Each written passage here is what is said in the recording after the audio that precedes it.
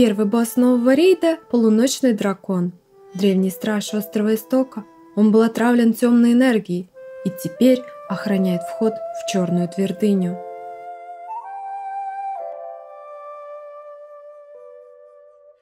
На протяжении всего боя с боссом на игроков накладываются стаки яда. В локации с боссом есть два яйца. Если ударить яйцо на 7 часов, оно даст одиночный баф на атаку и иммунитет к яду. Обычно этот баф собирает танк. Яйцо на первом часу используется для бафа рейда. Тот персонаж, который ударит это яйцо, получает таймер с бафом. При его взрыве со всех игроков в зоне действия снимаются стаки яда и накладывается один из двух бафов – красный или синий, которые дают иммунитет к яду. После этого на месте взрыва образуется лужа. Механика достаточно простая, за красным цветом всегда идет синий.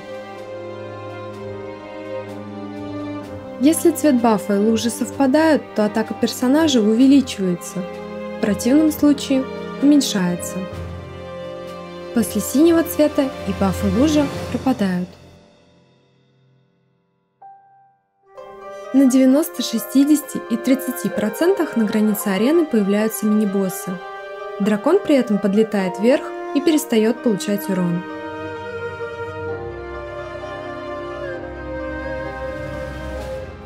Всех мини-боссов необходимо законтролить, иначе дракон убьет игроков без шансов на выживание.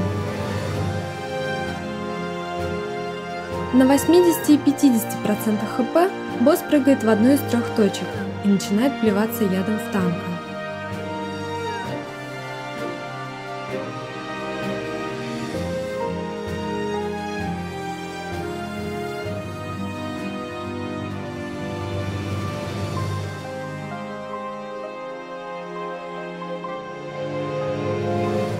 Почти в это же время на Земле появляются цветы, которые постоянно восстанавливают боссу здоровье.